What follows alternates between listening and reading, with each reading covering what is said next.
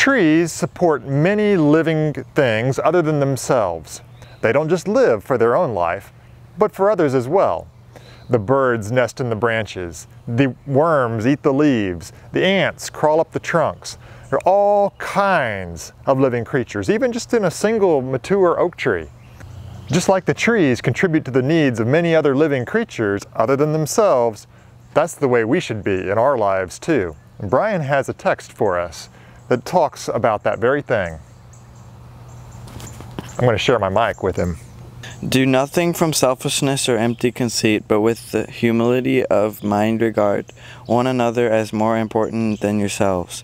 Do not merely look out for your own personal interests, but also for the interests of others. So we're going to go around this morning and we're going to see what we can find in trees. I have the sheet here, um, this white sheet. I'm just to lay it out so when we knock on the branch up there, the bugs will fall down onto this and then we can come down and see what's on the sheet.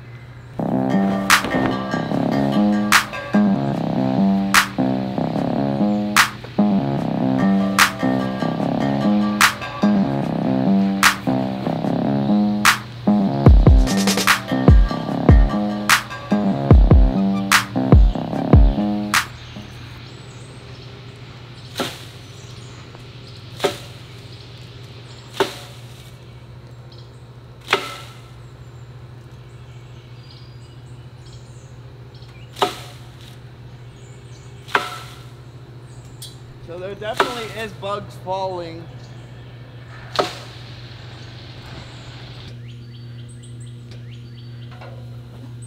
All right, let's see here. Here's a beetle. And here's an ant.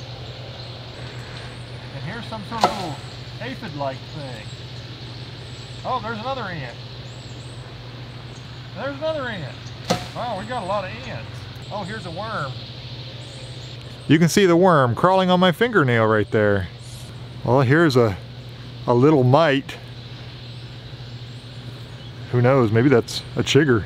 Here's a tiny little green bug of some sort. Looks like maybe even a baby. Here's another little black bug. and I'm not sure what kind he is either. There are also some bugs that Brian knocked out of the tree that flew away before they hit the the sheet down here. I don't know if you can see on my finger right there, but there's a tiny white bug of some sort. I'm amazed at all the variety of, of insects that we've found today.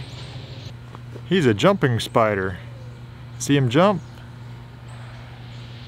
Whoop! He's going repelling. Looky there, there goes an ant right there. Up, up and away.